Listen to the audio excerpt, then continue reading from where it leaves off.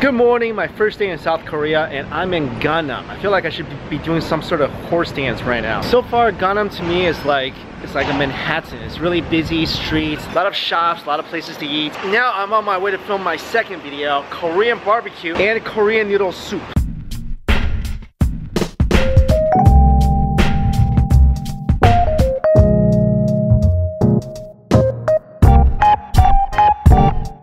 This place is legit. I had to take off my shoes and this is my table.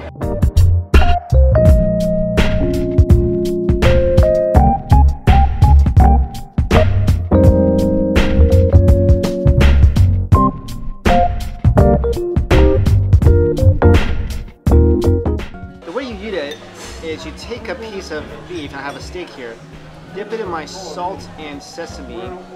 And I have some uh, raw onions here so I made a little ssam out of it. So exciting.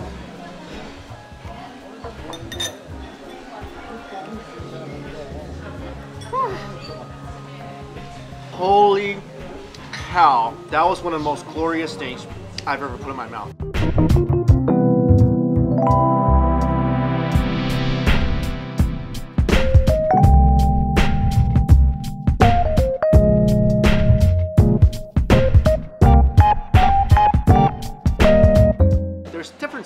between the cold Korean noodles in South Korea from the ones in North Korea. So now we're gonna have the South Korean cold noodles.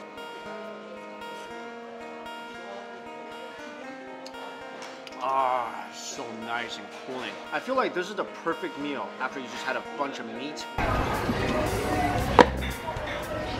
Just finished the Korean barbecue video and it took a while to the point where I think I'm like the only person left in this restaurant.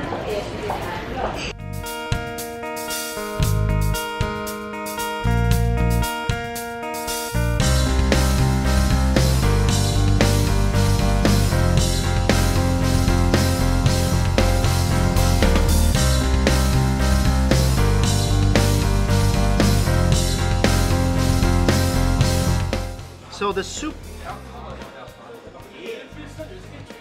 you know what this tastes like? It tastes like salt water. I mean, I don't know how else to describe it. It just tastes like salt water. I really like the noodles though. Really, really like that texture. The soup really doesn't add anything to this. It just it's, it's making the noodles slightly salty. That's all this the soup. I'm not even gonna call it soup.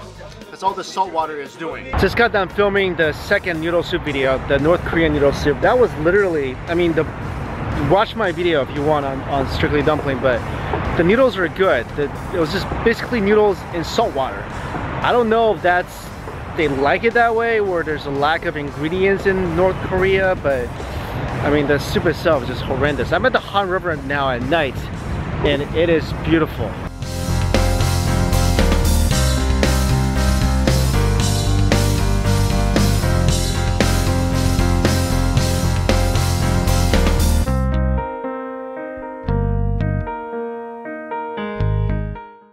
Good morning, very exciting day today, food-wise anyway. I'm gonna be going to a huge Korean buffet that only serves traditional Korean food. Now, I love buffets. I always hate it when you go to a new restaurant, you order off a menu, then you order the wrong thing, and you look over and the person beside you has a better thing than you do. That's called food regret, my friends, and you never get that at a buffet.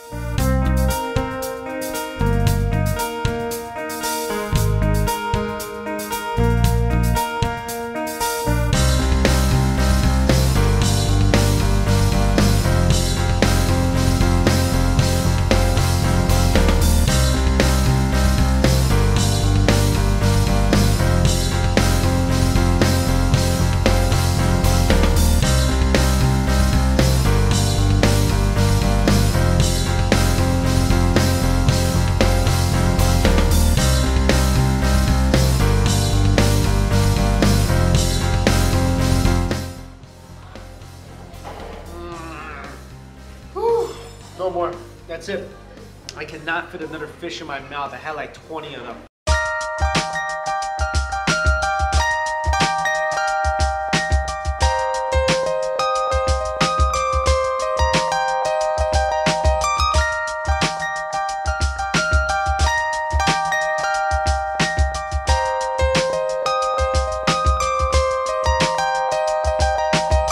I'm on my way to grab some street food and gonna take the subway.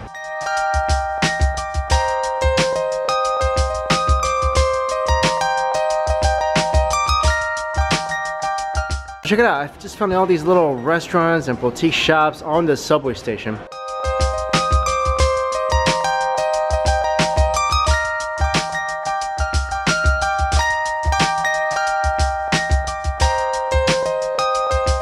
New York pizza, spicy cheddar chicken. This area is so awesome. All the restaurants seem to be really fancy, really nice. Everything is clean and bright. Look at this little um, rest area here. That's so pretty. I just saw a eatery with a name that speaks to my very soul, my very essence for being in this world.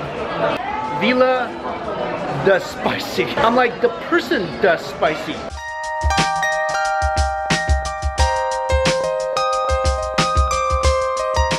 So this cool uh, virtual reality setup. I'm gonna go on the Crazy Viking.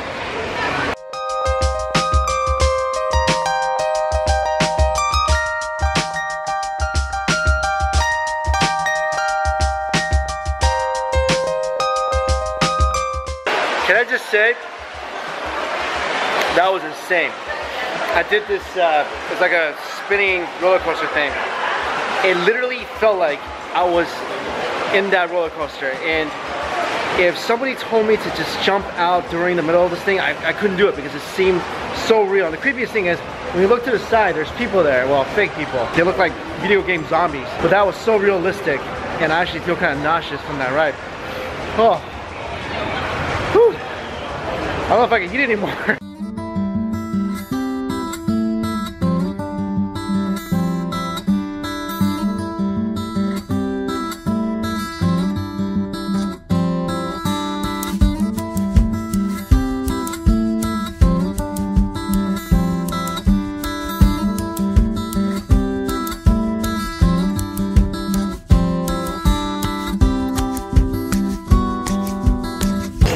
a.m. in San Francisco right now. I'm feeling it. Just want to like lay down on this escalator. Look how civilized these people are. This train hasn't come yet and everyone's lining up. This is New York. Literally is is like they won't even let people get out. Just push. These are pink seats and they're for pregnant people or people with uh, disabilities. And the subways actually have like luggage racks on top. This is really interesting. There's a sign on the window. Not that I can speak Korean, but someone told me this. Just like this one here. The sign indicates that that particular um, train cart is a few degrees warmer than the, all the other ones. So in case feeling a bit chilly, walk into one of these. I wonder what will happen if I don't scan my card. Oh, oh, oh! It's catching me. It's catching me. All right. They put a deposit on this card. Um, now I gotta put this in. I'll get my deposit back. There it goes.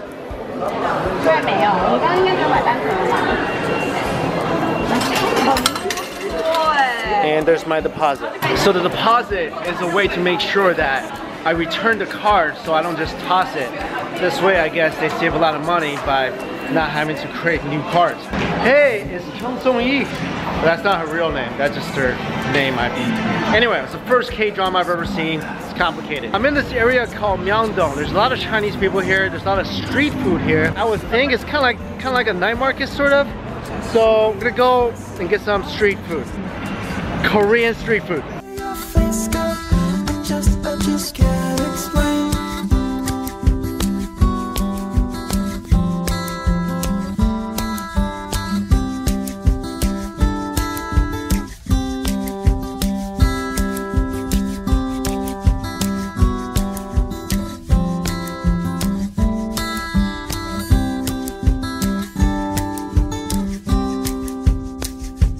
This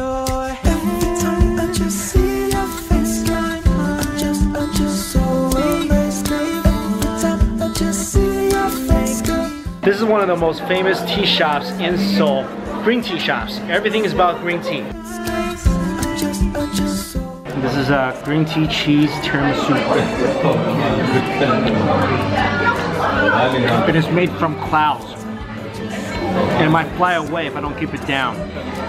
That thing is amazing. This is cold drip tea. I've heard of cold drip coffee, never cold drip tea, but this thing, this thing is awesome. It's like drinking holy tea elixir. It's probably one of the most refreshing, tasty teas I've ever had. Like just a small sip.